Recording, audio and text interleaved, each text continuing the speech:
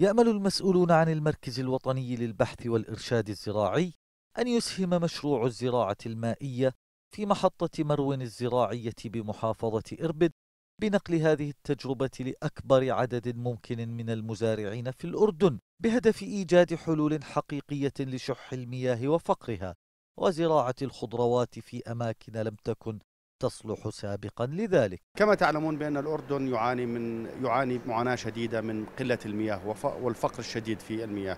لذلك تم التوجه إلى الزراعة في ال soilless وال hydroponic اللي هي الزراعة المائية.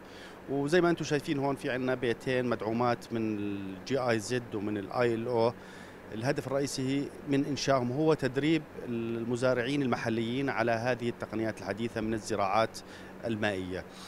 آه، كما تعلمون بأن الزراعة المائية توفر حوالي 70 ل 80% من المياه لأنه إحنا هون بنستخدم نظام السيركوليشن أو نظام التدوير نفس المياه. يعتبر هذا النوع من الزراعة الأقل حاجة للماء كونه يعتمد على حجم محدد من المياه يتم تدويرها حول النباتات والأشتال وغالبا ما تكون هذه المياه مخلوطة بأنواع محددة من الأسمدة الطبيعية. الهدف الرئيسي هو آه، نقل هذه التقنيات إلى المزارعين يعني والحمد لله في كثير من المزارعين اللي أجوا شافوا التقنيات هاي ودربناهم عليها عم بيحاولوا إنه ينفذوا هذه التقنية في مناطقهم في بيوتهم.